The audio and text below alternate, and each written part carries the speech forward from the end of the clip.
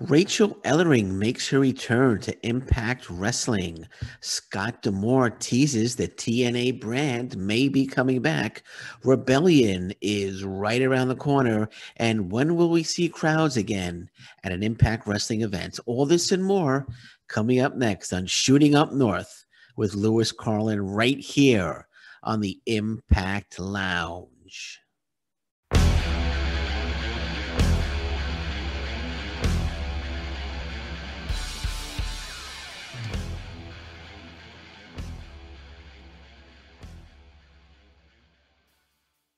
Hey, folks, welcome to Shooting Up North. I'm your host, Lewis Carlin. We're heard right here on the Impact Lounge.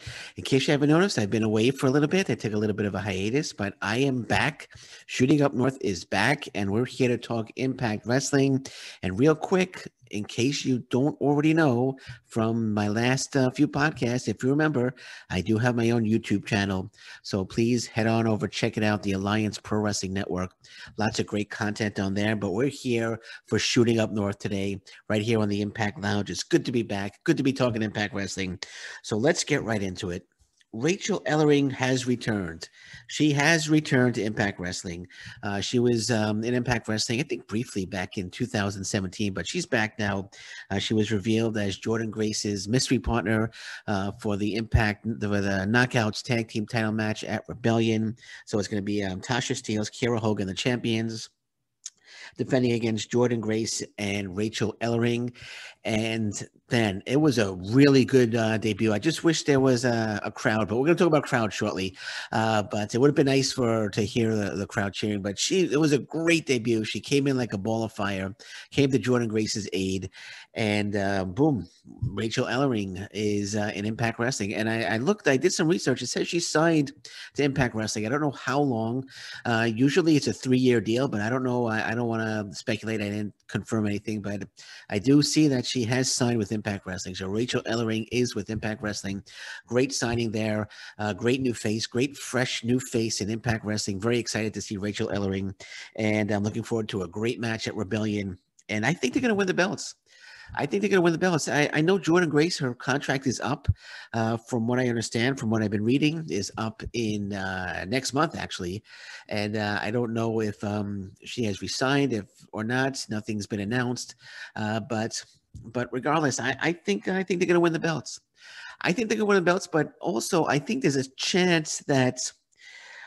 Jordynne Grace is not resigning, and Rachael Ellering during the course of the match turns on Jordynne Grace and then Jordynne Grace puts Rachael Ellering over in a in a match on Impact Wrestling before she leaves. So that's that that's another scenario. But I, I have a feeling Grace and um and Ellering are going to win uh, the Knockouts uh, tag team titles it's going to be a great match. It's going to be a great match, uh, regardless. And I'm um, really looking forward to it. And uh, it's good to see Rachael Ellering. Good to see some uh, some new talent. Let's let's keep doing it. Let's keep doing. Let's keep getting this new talent in. You know, and um, I know there's a lot of um, good talent out there. And um, it's good to see Rachael Ellering um, making the decision to join Impact Wrestling. And um, what can I say? It's going to be, like I said, it's going to be a really good match uh, between Tasha Steelz and Kiera Hogan and uh, we'll see what she brings to the table. I mean, I'm sure down the road we're going to see Rachael Ellering one on one with Deonna Purrazzo uh, for the for the Knockouts title because there's no way that Deonna Purrazzo is going to lose uh, the belt to Tennille Dashwood uh, at Rebellion. No way, not a chance. I don't see that happening at all. And um, I say down the road we'll see uh, Rachael Ellering going after the the Knockouts title and uh, that should be a great match as well. Yeah, let's just keep it coming. Let's keep it coming. Scott D'Amore also. Scott D'Amore was talking to um, Wrestling Perspective, and um, uh, he uh, teased that the TNA brand, the TNA brand, could be making a return. I know we've heard about this in the past. Uh, they teased it when Moose was the TNA uh, heavyweight champion. Uh, they were going to bring TNA back, and it was going to have its own standalone show. But now Scott D'Amore is is teasing that the TNA brand could uh, make the return. Um, let me just read the article here.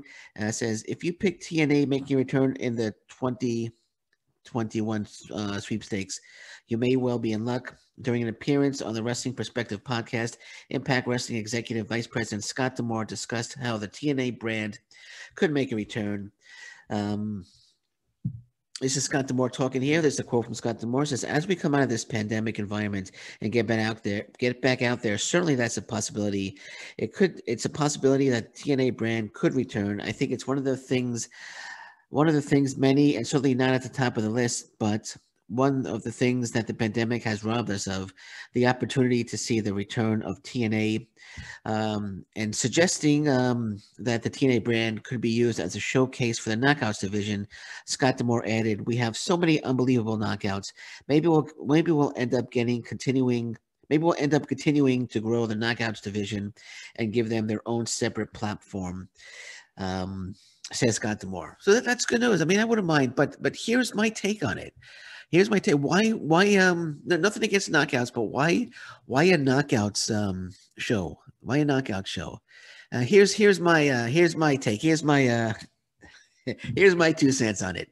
Total Nonstop Impact is a great name. You don't have to call it TNA, just call it no, Total Nonstop Impact. It would be a great name for a new talent showcase. Just think a new talent showcase, total nonstop action. Put the show on YouTube you know, and you could bring in new knockouts and and and and feature them on there as well. But it doesn't have to be strictly knockouts. I think TNA should be a brand where you develop new stars. You could have the TNA champion. It doesn't have to be a world champion. It could be the TNA champion, um, but uh, have its own separate show where you recruit new talent, put them on that show, and groom them for the main show, the main Impact Wrestling show. That's my opinion. And you know how I feel about getting new talent. It's, it's something that they have to do. I mean, you know, Ring of Honor does it with um with um Future of Honor. AEW is doing it with AEW Dark. You know, New Japan Pro Wrestling has the Young Lions. You know, WWE has NXT. MLW, uh, Court Bauer is always scoping for new talent. Impact Wrestling needs to get on that. Impact Wrestling needs to get on that, and and they need to um they need to give a uh, they need to get um a show that uh, specializes in in displaying and showcasing new talents. And you can even have like Eddie Edwards or Sami Callihan show up and take on the new talents in like the main event. That, that will be fine. They do that on AEW Dark, and uh, I think that's the route they should take. That's that's that's me talking as a fan. I I would love to see that, and I wouldn't put it on Impact Plus. I would put it on I would put on YouTube, like, like AEW Dark, just a one hour show on YouTube once a week. Put it, um, well, you have you can't put it on before uh, the Impact show because you have uh, BTI. Uh, put it on a put it on a Saturday, put it on a Sunday, put it on a time where there's no other wrestling on, and um, showcase it. Put it on t- t- total nonstop action, new talent showcase, one hour a week on YouTube, and uh, I'm sure I'm sure um, the the views will grow as it goes on. As you get the talent, as you get the Lee Moriarty's, as you bring in the Aiden Princes, as you bring Ovi Christ.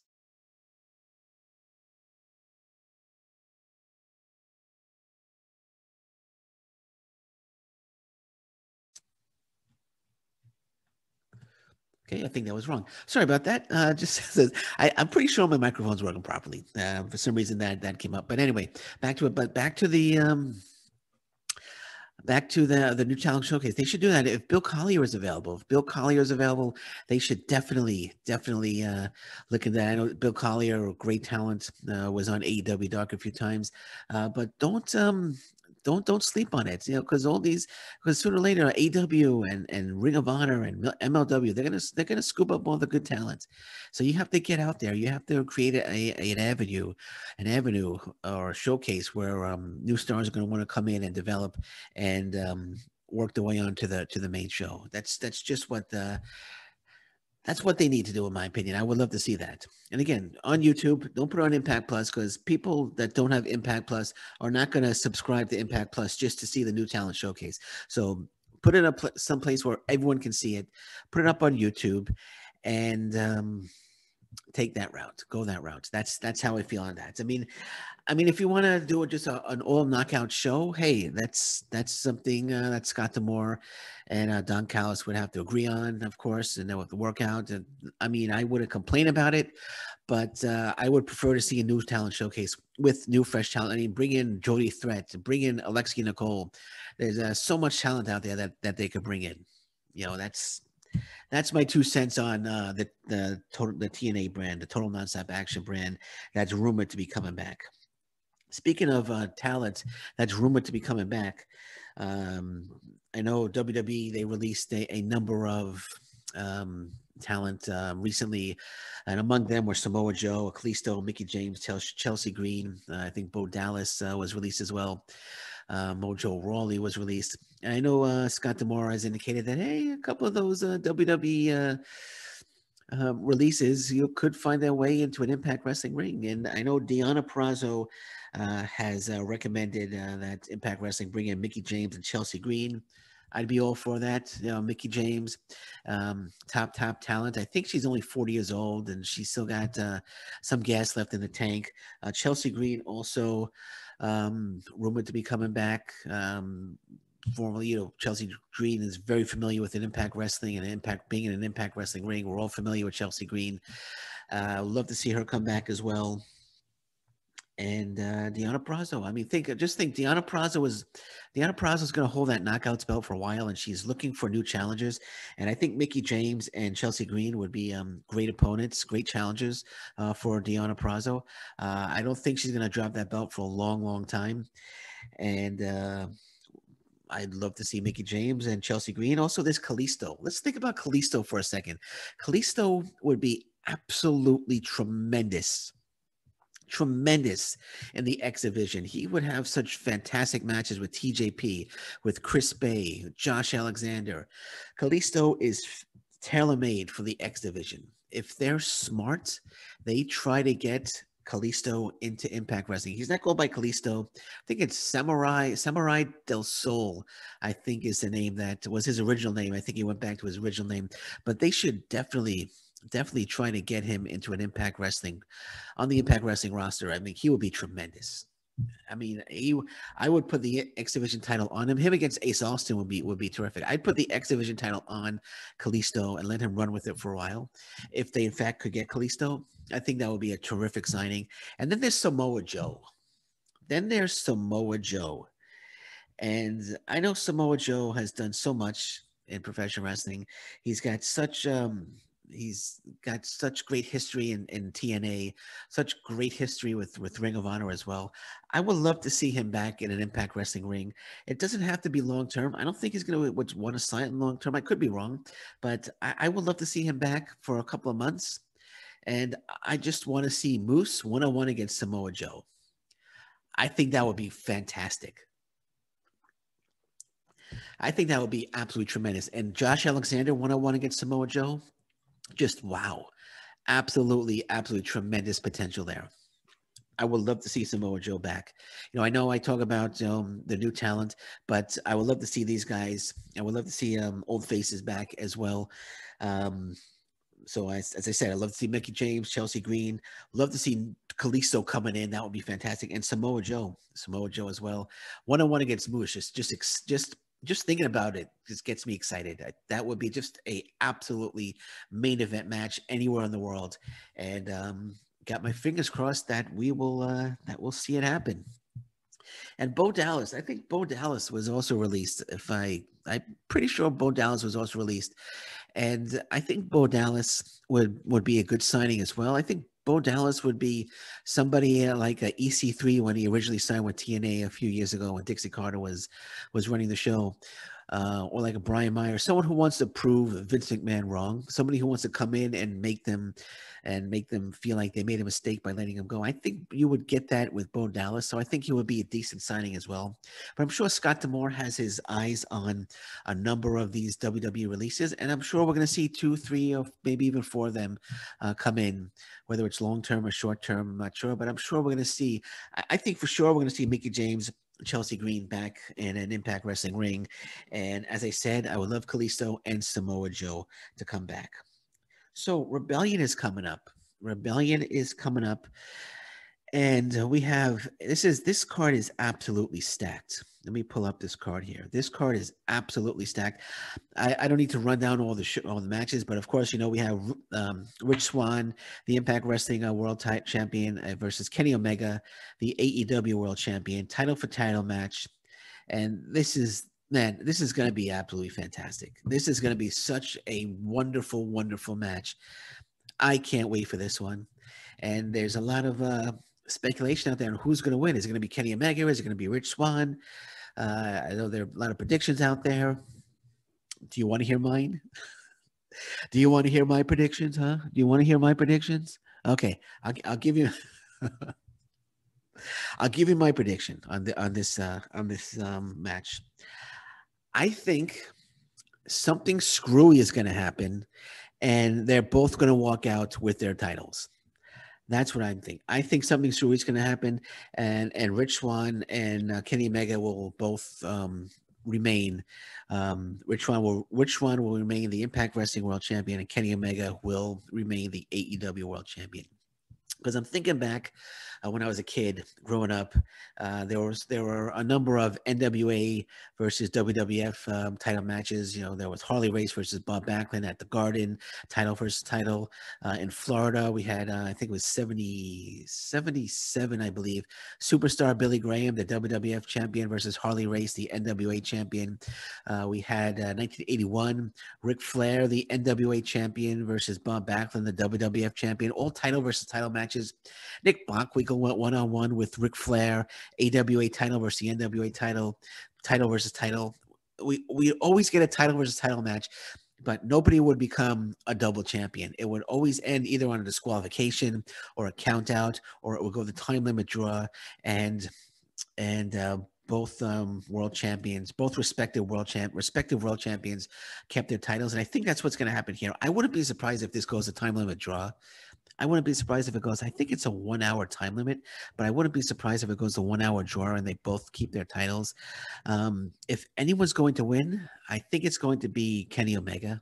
If they do in fact have a winner, I think it's going to be Kenny Omega. I don't. I don't see Rich Swann showing up on AEW with the AEW title. Um, no, I, I think it, it, it it more benefits Impact Wrestling if Kenny Omega has the Impact Wrestling Championship than AEW would benefit if Rich Swann has the AEW Championship. Uh, so if anyone is going to win, I think it's going to be Kenny Omega, and if if that's the route they're going, if that's the route that they go and Kenny Omega does win the title, then I would say that down the road or the next pay per view or or the next or or maybe not the next pay per view, but down the road, Moose would um, Moose would make a return and um, challenge Kenny Omega for the Impact Wrestling World Title and save Impact Wrestling from Kenny Omega and his title reign. So that's that's the route that I see it going. But quite frankly, I think I think it's it's we're not going to see um, we're not going to see either title change hands. I think they're both going to leave with their belts. Uh, then we had FinJuice against Good Brothers. Good Brothers are going to regain. Uh, there's no doubt in my mind the Good Brothers are going to regain. Deonna Purrazzo versus Tennille Dashwood. There's no way, as I said, no way in hell, no way in hell Deonna Purrazzo is going to lose the Knockouts title to Tennille Dashwood. Sorry, but no way in hell. Uh, the other title match, the X Division title, Ace Austin versus Josh Alexander versus TJP. I really want Josh Alexander to win this match, but I have a feeling, I have a gut feeling Ace Austin is going to retain. I'm going to be rooting for Josh Alexander. He's he's my guy. I love Josh Alexander, but I think when all is said and done, I think Ace Austin is going to retain. And there's a few other matches as well. Not going to go into it because I know um, BQ did a whole preview on it. Um, but uh, yeah, so Rebellion, eight matches, eight. Uh, this is gonna be a, this is gonna be a really good card. If if you have the opportunity to see it, uh, to watch it, it's gonna be on FITE TV. I would definitely, definitely, definitely order it. It's gonna be an absolutely stacked card, and I just wish it was in front of a crowd. Speaking of crowds, let's talk about crowds for a little bit. MLW on July 10th will be back in front of crowds. Um, AEW wrestling in front of crowds. WWE WrestleMania. They were two nights, 27,000 fans in in the arenas, uh, in the stadium, I should say. So they were in front of crowds. In out in Japan, New Japan Pro Wrestling, the crowds are there. Granted, it's in Japan. Let's well, actually, I'm sorry. Let's let's stick with the states. So we had um, MLW AEW, WWE, all in front of crowds. And we have independent shows that are in front of crowds now as well. It's time for Impact Wrestling to get back in front of a crowd. It's definitely time for them to get back in front of a crowd. I think the next group of tapings, the next group of tapings, definitely, without a doubt, should be in front of a crowd. if they have to go to um, if they have to go to Florida, they have to go to Texas or wherever they have to go, um, where they have the okay to get in front of a crowd. As long as everybody's safe, as long as everybody's social dis- distancing, they do all the COVID guidelines, they take care of all the COVID guidelines, keep everybody safe. I think they could be in front of a crowd. I mean, if if MLW is doing it, Impact Wrestling should be doing it as well. So get back in front of a crowd. I mean, we need the crowd. I mean, I know they have their piped in crowd noise right now, but uh, it's it's starting to sound a little corny. And uh, I think it's time for Impact Wrestling to start uh, bringing the crowds back. I mean, because I mean they're I mean with the AEW partnership, uh, with the New Japan Pro Wrestling partnership, things are starting to get really, really uh, exciting in Impact Wrestling, and uh, you want a crowd there. You want a crowd. Just think of the crowd, the crowd reaction if when when Cody, uh, Kenny Omega first walked down the aisle uh, on an Impact Wrestling show, just just imagine the crowd reaction. They, they got to get the crowd back. My opinion, they got to get the crowd back as long as they do it safely and they keep everybody safe. They could do it. Like I said, if MLW is doing it, Impact Wrestling could do it as well. All right, before I uh, wrap this up, um, I want to uh, I want to talk about something real quick. Uh, there was a um, a fan a fan that uh, went on Facebook and uh, obviously is not familiar with with with uh, with Chris Sabin. Uh, I just thought it was funny. I'm not going to say his name, but I just thought it was funny. He says that um, that Chris Chris Sabin is the next big thing in Impact Wrestling. Chris Sabin is the next big thing in Impact Wrestling. Yeah, um, that Chris Sabin, that Chris Sabin has so much potential. You know, he he has a potential to have a pretty good, uh, pretty good, pretty good career uh, in Impact Wrestling. He has a pretty good, has a, potential to to do a couple of good things in professional wrestling. So, um, you know, Chris Sabin, you know, I mean, and I mean, why stop there? I, mean, I know uh, BQ, BQ saw it and he chimed in by saying that by uh by saying that jazz is the future of the of the knockouts division. Oh, but it's funny stuff. Funny stuff. That's that um that uh, no, I, I gotta hand it to the guy. The guy, uh, uh, he's watching Impact Wrestling. He's enjoying it. Uh, I guess he's just not familiar with Chris Sabin. You know, and uh, again, I'm not saying his name because I don't want to. I don't want to knock him. But uh, as long as he's watching Impact Wrestling and he's enjoying Chris Sabin, but it's it's funny how he says that Chris Chris Sabin's the, the next big thing in Impact Wrestling. I thought that was um, thought that was a little humorous. But hey, dude, you know, thank you for watching Impact Wrestling. Keep watching it. Don't stop, and uh, keep uh, keep rooting for Chris Sabin, man. Keep keep rooting for Chris Sabin. The next big thing, you know, he might. he's going. That kid's going places, man. That kid's going places.